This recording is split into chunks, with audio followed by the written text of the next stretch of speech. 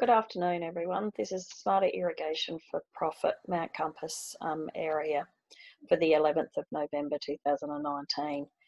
For the past week, Mount Compass irrigators needed to have applied 10.6 millimetres of irrigation water, and our predicted water pasture use, which is the ETO minus rainfall for the next week, is 33.4 millimetres, with our forecasted daily ETO of 4.8 millimetres per day um, with the rainfall that we had last week uh, with calculating that, don't forget to take into account rainfall that is on your farm.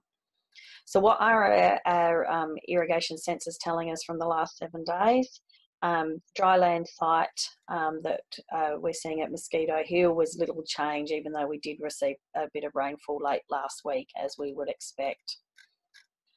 Mount Compass um, Centre pivot. Um, I'm showing the graph this week just for the seven days, and you can see that the um, that the um, sensor is staying nicely in the green zone, and the rainfall that we had last week helped assist with maintaining our moisture.